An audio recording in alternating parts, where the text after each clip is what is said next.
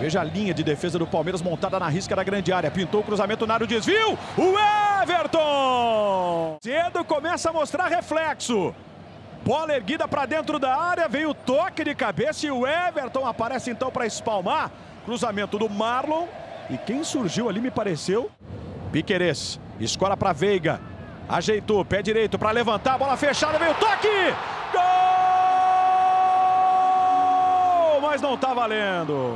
Rafael Veiga. E a gente vai ver pela repetição de onde apareceu o Jailson. Se a posição era correta, se a posição era irregular.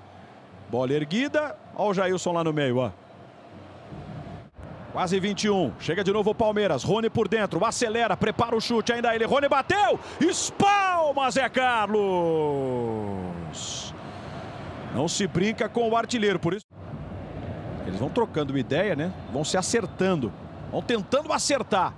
Levantamento perigoso. Bola fechada. Toque de cabeça na trave. Dessa vez a trave evita o primeiro gol do Palmeiras no ano. E o toque foi do Gustavo Gomes né? no título do ano passado. E agora, será que vai encaixar? Se manda Hendrick.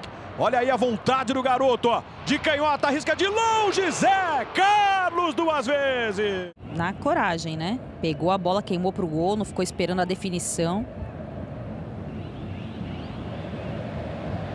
Possível, né? Esse menino tomava... Olha o Everton lá, grafite, ó. Olha o Everton lá, ó.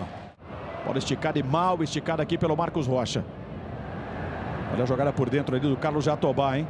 Percebeu o avanço aqui na esquerda do Fernandinho. Fernandinho recebeu livre. À vontade, bateu colocado o Everton. Fechada pelo Marcos Rocha. Aí o Fernandinho, ó. Recebeu, foi levando, com a defesa recuando, encolhendo. Atenção. Cobrança de falta, o Everton.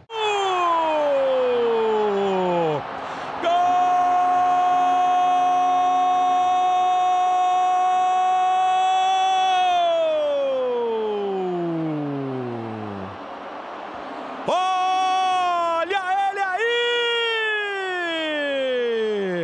Dudu! Pro... Certamente deve estar utilizando a computação gráfica para poder determinar a posição dele e o gol está sendo anulado. Quando ainda estava descobrindo se o gol seria válido ou não, eles foram chamados de volta para o banco e posteriormente de volta para substituir. Olha essa bomba e a bola raspa no travessão! Impressionante a força no pé direito do Zé Rafael, enquanto o Renato Cury nos trazia esse relato, né? Aí depois enfrenta o Ituano no dia 25, lá em Itu, e parte então para a decisão da Supercopa. Dudu caiu, pediu falta, não levou, a vantagem seguiu, insiste o Palmeiras. Navarro, Dudu, deu certo aí, cruzamento para a área, pode pintar a chance, bateu pro gol, tem desvio!